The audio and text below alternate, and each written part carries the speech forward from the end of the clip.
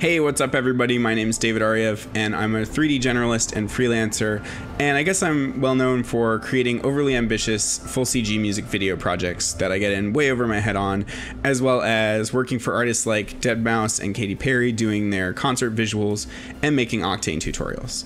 But the thing I'm here to talk to you about today is Aaron's amazing VFX crash course, which I super love because unlike a lot of other tutorials that are just focused on button pushing or learning a specific piece of software and all of the different menu options and stuff like that, his focuses on a whole workflow or a mindset.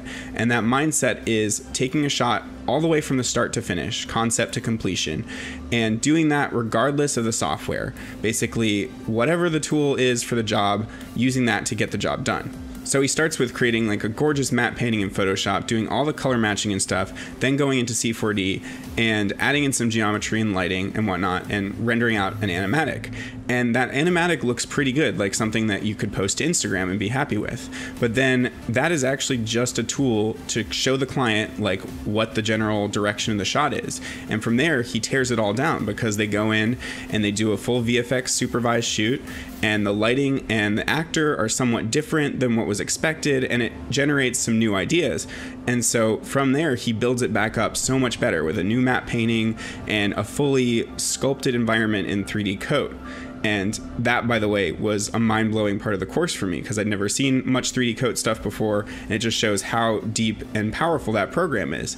And then from there, he goes into C4, back into C4D, does Projection Man workflow with, uh, you know, his new matte painting that he creates from scratch. And then into both Octane and Redshift.